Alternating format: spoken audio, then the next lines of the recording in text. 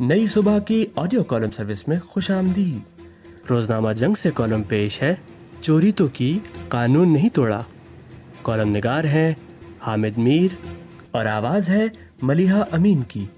اگر آپ نئی صبح کی آڈیو لائبریری سے مستفید ہونا چاہتے ہیں یا ہمارے ساتھ والنٹیئر کرنا چاہتے ہیں، تو وزٹ کیجیے ہماری website W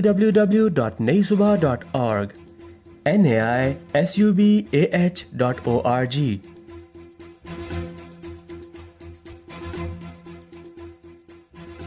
وزیر اعظم عمران خان اور ان کے ہم نواؤں کا خیال ہے کہ انہوں نے بڑا کمال کر دیا ہے۔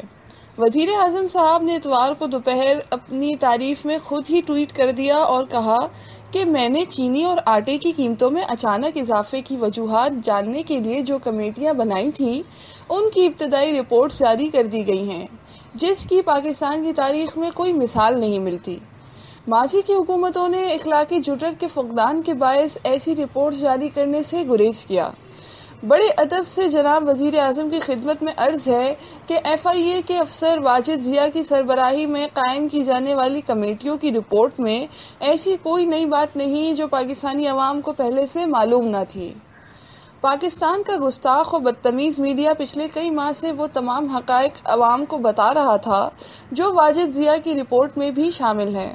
اور میڈیا کی ان گستاخیوں سے تنگ آ کر حکومت نے فروری دو ہزار بیس میں دو کمیٹیاں تشکیل دی تاکہ چینی اور آٹے کی قیمتوں میں ناجائز اضافہ کر کے منافع خوری کرنے والوں کو بے نقاب کیا جا سکے۔ وفاقی کابینہ کے پچھلے اجلاس میں وزیر مملکت برائے پارلیمانی امور علی محمد خان نے وزیر اعظم کو یاد دلایا تھا کہ آپ نے چینی اور آٹے کا بحران پیدا کرنے والوں کو بے نقاب کرنے کے لیے جو کمیٹیاں تشکیل دی تھیں، ان کی رپورٹیں عوام کے سامنے لانے کا وقت آ گیا ہے۔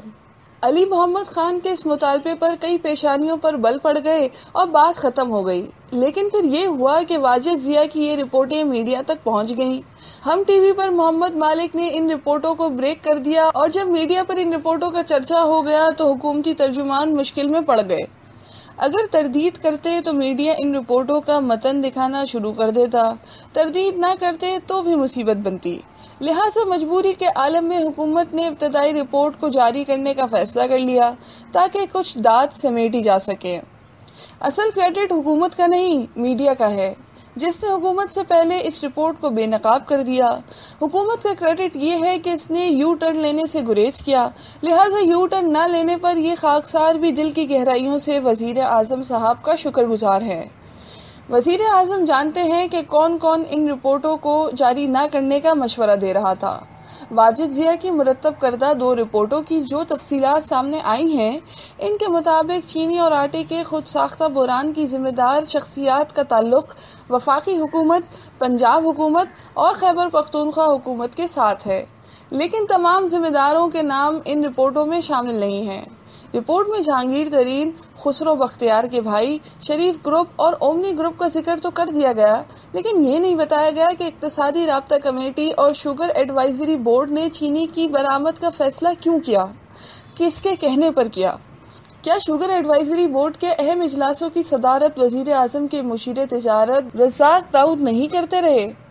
یہ تو بتایا گیا کہ شوگر ملوں کو سبسڈی دینے کا فائدہ کس کس نے اٹھایا، لیکن یہ نہیں بتایا گیا کہ اب سبسڈی کا فیصلہ مشیر خزانہ عبدالحفیظ شیخ نے کس کے کہنے پر کیا۔ واجد ضیاء کی حتمی رپورٹیں پچیس اپریل تک مکمل ہوں گی اور پھر وزیر اعظم کا اصل امتحان شروع ہوگا۔ کیونکہ عوام کو صرف چینی چوروں اور آٹا چوروں کے نام جاننے میں دلچسپی نہیں، عوام کو یہ نام گستاخ میڈیا پہلے ہی بتا چکا ہے۔ عوام کو یہ انتظار ہے کہ چوروں کے خلاف عمران خان نے کیا کاروائی کی اور جن ارباب اختیار کے احکامات سے ان چوروں نے اربوں روپے کمائے، ان ارباب اختیار کو عبرت کی مثال بنایا جائے گا بھی یا نہیں؟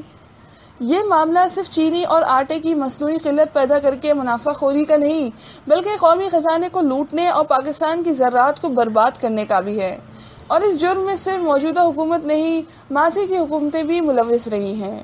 شوگر مافیا نے صرف عمران خان کے دور میں لوٹ مار نہیں کی، یہ مافیا پرویز مشرف کے دور سے لوٹ مار کر رہا ہے۔ اور اس مافیا کے کرتا دھرتا سیاسی وفاداریاں تبدیل کر کے ہر حکومت میں شامل ہو جاتے ہیں۔ اس مافیا کا سب سے بڑا ظلم یہ ہے کہ اس نے کپاس کے کاشتکار کو گنے کی کاشت پر مجبور کیا اور گنے کی قیمت بھی اپنی مرضی کے مطابق دی یوں کپاس پیدا کرنے والے ملک کو کپاس درآمد کرنے پر لگا دیا اور شوگر ملوں کے ذریعے ایک طرف کاشتکاروں کو لوٹا، دوسری طرف حکومت سے سبسڈی اور ریبیٹ لے کر چینی برآمد کی اور اربوں روپے کما لیے۔ قابل غور بات یہ ہے کہ ایک طرف شوگر ملز ایسوسی ایشن کاشتکاروں کو گنے کی وہ قیمت ادا نہیں کرتی جو حکومت مقرر کرتی ہے۔ دوسری طرف آل پاکستان ٹیکسٹائل ملز ایسوسی ایشن بھی کپاس کی امدادی قیمت مقرر نہیں ہونے دیتی تاکہ کاشتکار سے کپاس نہ خریدنی پڑے۔ ہر حکومت کے دور میں وفاقی کابینہ میں گروپنگ پیدا ہو جاتی ہے۔ ایک گروپ کاشکاروں کے لیے روتا ہے، دوسرا گروپ صنعتکاروں کے مفادات کا تحفظ کرتا ہے۔ لیکن تحریک انصاف کی حکومت میں چند بیوروکریٹ صنعتکار گروپ کو دبانے میں کامیاب ہو گئے۔ واجد ضیاء رپورٹ کے ذریعے حکومت میں شامل چند با اثر صنعتکاروں کو بے نقاب کرنا کاشکاروں کی نہیں، بلکہ وزیر اعظم کے پرنسپل سیکرٹری اعظم خان کی فتح قرار دی جا رہی ہے۔ اعظم خان کا اصل نشانہ جہانگیر ترین ہے، لیکن واجد ضیاء نے حتمی رپورٹ اعظم خان سے پوچھ کر نہیں لکھنی۔ وہ اس معاملے میں عبد الرزاق داؤد عبد الحفیظ شیخ اور عثمان بزدار کے کردار کا جائزہ بھی لیں گے۔ اور اگر ان کرداروں کو نظر انداز کریں گے، تو پھر گستاخ میڈیا کے سوالات سے بچ نہیں پائیں گے۔ واجد ضیاء کی حتمی رپورٹ پچیس اپریل تک سامنے آئے گی۔ لیکن یقین رکھیے، پچیس اپریل سے پہلے پہلے بہت سے حقائق سامنے آنے والے ہیں اور یہ حقائق بھی میڈیا سامنے لائے گا۔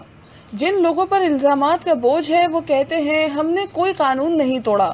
میڈیا کو اس بحث میں الجھایا جائے گا کہ جن معزز شخصیات کو چور قرار دیا جا رہا ہے، انہوں نے غیر اخلاقی فائدہ تو اٹھایا، لیکن کوئی غیر قانونی کام نہیں کیا۔ میڈیا کو اس بحث میں نہیں الجھنا کیونکہ قانون کے دائرے میں رہ کر ناجائز منافع خوری دراصل چوری ہے۔ ہمیں چور کو چور ہی کہنا ہے، لیکن اس بات کا خیال رہے کہ کسی پر غلط الزام نہ لگے۔ یہ معلوماتی مواد نئی صبح کی جانب سے پیش کیا گیا۔ ہمارے کانٹینٹ سے متعلق اپنی آرا کے اظہار کے لیے کامنٹ کیجیے یا ڈسکرپشن میں دیے گئے رابطے کے ذرائع استعمال کیجیے